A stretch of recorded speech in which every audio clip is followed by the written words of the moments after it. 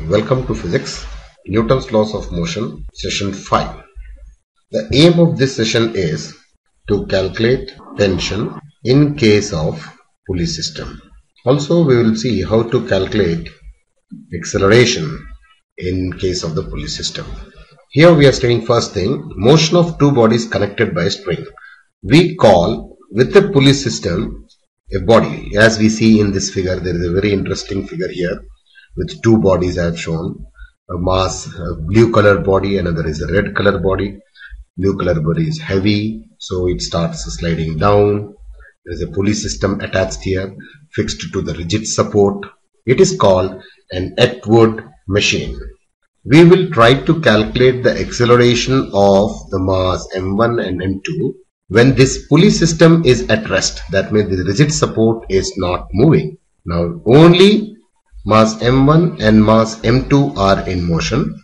Pulley system is at rest. So let us see uh, how the two bodies are going to move.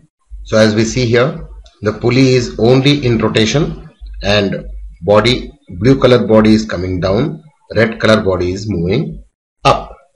Let us analyze when the pulley is at rest, how the two bodies are going to move. Let us consider this is rigid support, this is a pulley which is at rest, only rotation is possible.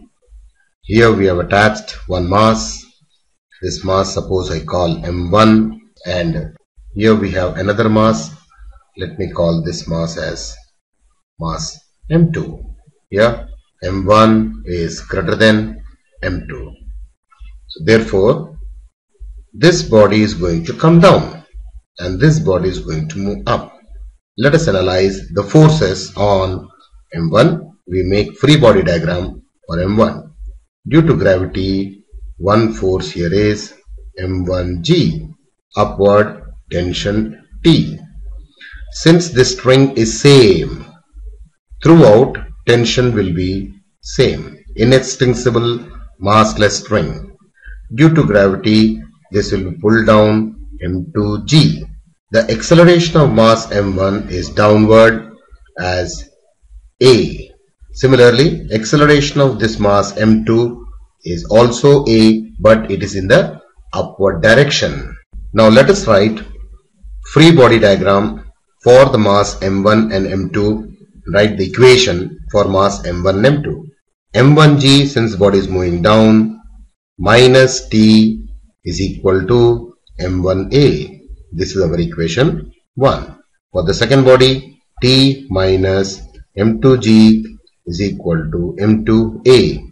This is equation number 2. Solving these two equations, adding, we get M1 minus M2G is equal to M1 plus M2 to A. So acceleration of the system will be m1 minus m2 by m1 plus m2 into g. Substituting this value of acceleration in any of the equation, we get tension T. Substituting value of acceleration, the tension T will be equal to 2 m1 m2 g divided by m1 plus m2.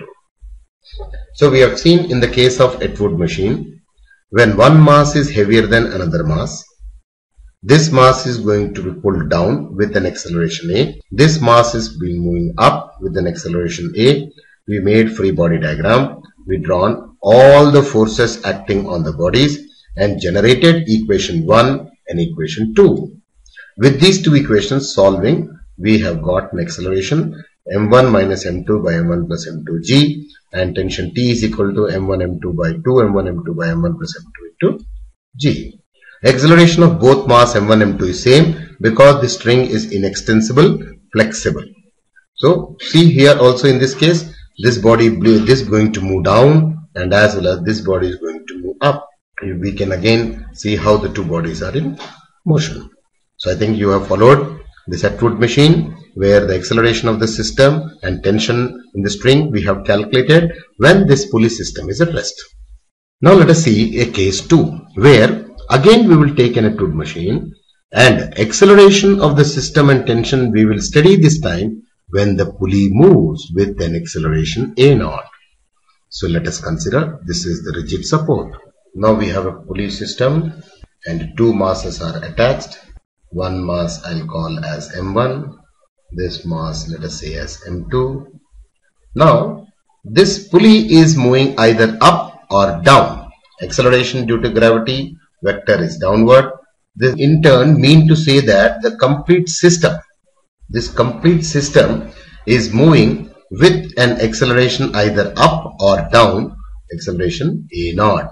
Let us consider acceleration is A naught in the upward direction. Now, for such type of bodies, how we will write the free body diagram and what will be the acceleration and the tension. The one force on this M1 is downward.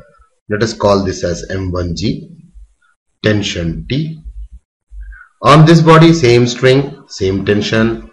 Here it is M2G. This body is coming down with acceleration A. This body moving up with acceleration A. Since in extensible string, acceleration of both the masses is same. So, the equation with respect to the acceleration, the pulley system since it is moving with an acceleration A naught, we can consider the acceleration of this body uh, the net resultant acceleration which we have studied earlier as A equal to m1 minus m2 divided by m1 plus m2 into g. Now we can write this in terms of vector notation as g plus a naught, g vector plus a naught vector and tension in the string as 2 m1 m2 divided by m1 plus m2 into this will be in terms of vector g vector plus a naught vector. For example, if we take it the pulley system is moving up. If the pulley system moves up with acceleration a naught, then the acceleration will be written as acceleration of each mass m1 minus m2 by m1 plus m2 into g vector hmm, g vector. Now I will write it in terms of magnitude. Since it's moving up it is g plus a naught. And if the pulley system is moving down with acceleration a naught then the acceleration of each body will be m1 minus m2 by m1 plus m2 to g minus a naught similarly we can also write the tensions. Now you'll say how we got these equations. Let us consider the system is moving, the complete pulley system is moving upward acceleration. So this M1 also, although it is coming down inside this system, but net this M1 will be moving with an acceleration A naught upward as well as M2 also will be moving with an acceleration A naught. So the acceleration of mass M1 will be, let us consider as A1 which is equal to A0 minus A. M2 is also moving in the same direction with the same acceleration A0. So therefore this acceleration of M2 will be A2 is equal to A0 plus A. A0 plus A. Fine. These are the individual accelerations of mass M1 and M2 at any instant of time. So if I write free body equations using this acceleration A1, A2, for mass m1, it will be T minus m1g is equal to m1 into a1 or I can write m1 into a naught minus a. T minus m2g for the second body is equal to m2 into a2 or m2 into a naught plus a. Let us expand first equation. We will take this as equation 1. This is equation 2. From first equation, we get T minus M1G is equal to M1 A naught minus M1 A. Second equation, T minus M2G is equal to M2 A naught minus M2 A. Now we require to eliminate t. Cancel minus plus minus plus subtract. We get it. Minus m1 plus m2 g is equal to m1 minus m2 into a naught minus or we'll take it minus m1 minus m2 into a. So what will be a equal to? This we can write as minus sign here m1 minus m2 I'll bring this term here and this term this side. A is equal to m1 minus m2 divided by m1 plus m2 into. This is a plus a naught this plus. So here we get plus into g plus a naught. When the system is moving up g plus a naught. That's what we got. When system is moving down we'll get g minus a naught. Similarly tension can be written as 2 m1 m2 divided by m1 plus m2 into g plus a naught when the body is moving up. And g minus a naught or the pulley is moving down. So in the Atwood machine is a practically a machine with two masses m1 and m2 and a pulley system. If the pulley system is at rest, it's very easy just draw two uh, free body diagrams, calculate the acceleration. When the pulley system is moving, then we can take the net acceleration as a1 is equal to a naught minus a, a2 is equal to a naught plus a. If imagine the acceleration is in the downward direction, then in that condition what we'll do? This direction is the direction in which m1 will move as well as m2 will move because the pulley takes both the masses together. So what will be acceleration a1 here? a1 here will be a naught plus a. a1 will be in that case a naught plus a and this is A1. Similarly, what will be A2 acceleration here? A naught minus A. A2 acceleration can be written as A naught minus A. Followed? Now we are taking these two A1 and A2 as the reference. Let us make free body diagram and write the equation again. This direction taken positive, we can write this equation as m1g m1g minus t is equal to m1 into A0 plus a m2g minus t is equal to m2 into a2 A0 minus a. Solving again we will get these equations. Let us take motion of two bodies connected by a string with one body on horizontal smooth surface and another body vertically. Also calculate the tension. Here there is a visual which is showing the mass mg going down. This is mass mg, small mg going because gravity is pulling it down. Tension in the string is shown away from the body. Here we have a horizontal surface capital mg at the floor or you can say table. Normal reaction here. The acceleration is a. This acceleration and this acceleration same because inextensible string. Okay, table applies a normal reaction upward. The block it balances downward WMG. Another block small m tries to bring it down and due to the string strain to produce tension uh, pulls the block M down upward. Same tension is applied on block M to the right and this block capital M starts moving on the frictionless table along tension. Another block small m moves down. Let us analyze and write the equation uh, taking the direction of motion as positive. So now I'll just analyze working out the equations picture what you have seen just now. We have two bodies.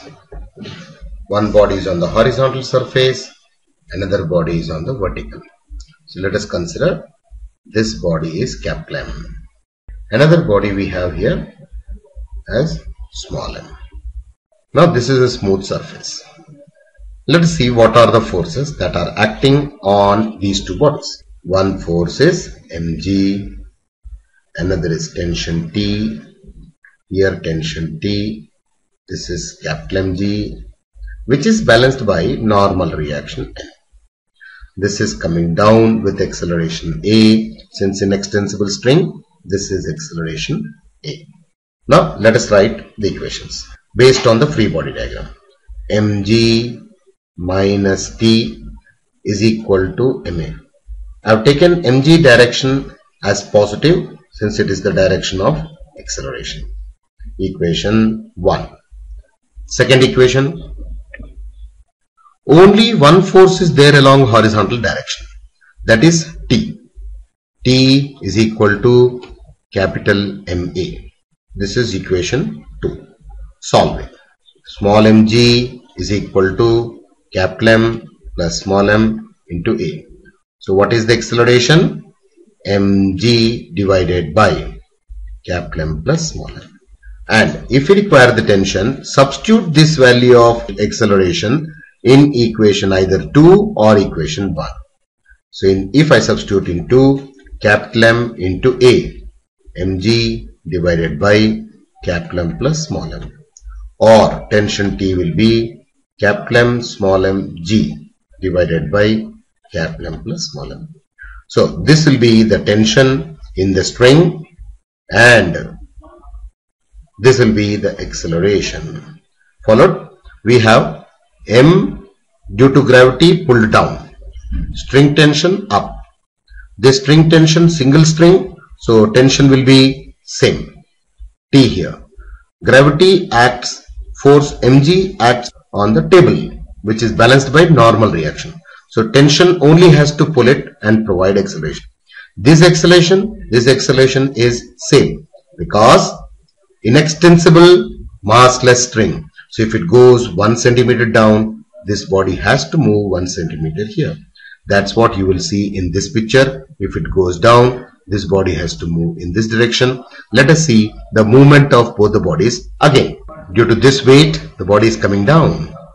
And here T is the cause, tension is the cause for the body to pull it horizontally.